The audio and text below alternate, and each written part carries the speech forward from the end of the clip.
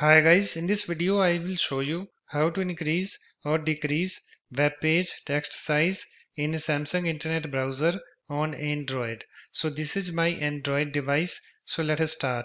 So first of all you have to open your Samsung Internet Browser. So here is my Samsung Internet Browser. Let me tap on it to open it.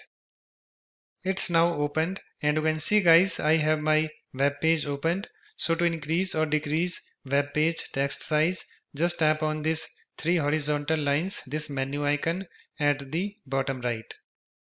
And you can see guys, I have this pop-up and you can see here we have this text size, this option. So just tap on it. And I have this text size, this pop-up. And on this pop-up, you can see here we have this slider. So just move this slider to the right to increase text size. You can see or you can move this slider to the left to decrease text size. Okay so let me show you. You can see it's decreasing. So just select your text size. So let me select mine. So I want 110% text size. And after you're done selecting your text size just tap on this OK this button. So let me tap on it. And you can see guys web page text size is now changed. And also guys, there is another way by which you can do it. So let me show you. So just open up your web page and then tap on this three horizontal lines, this menu icon at the bottom right. And then tap on this settings. And then tap on this web page view and scrolling.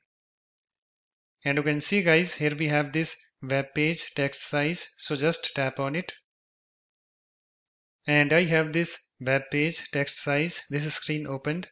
And on this screen you can see here we have this slider. So just move this slider to the right to increase text size. You can see.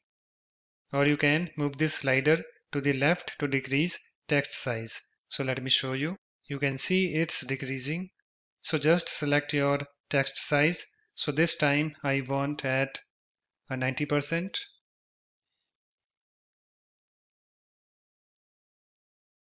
you can see it's now selected and after you're done you can go back to your web page. So let me go to that.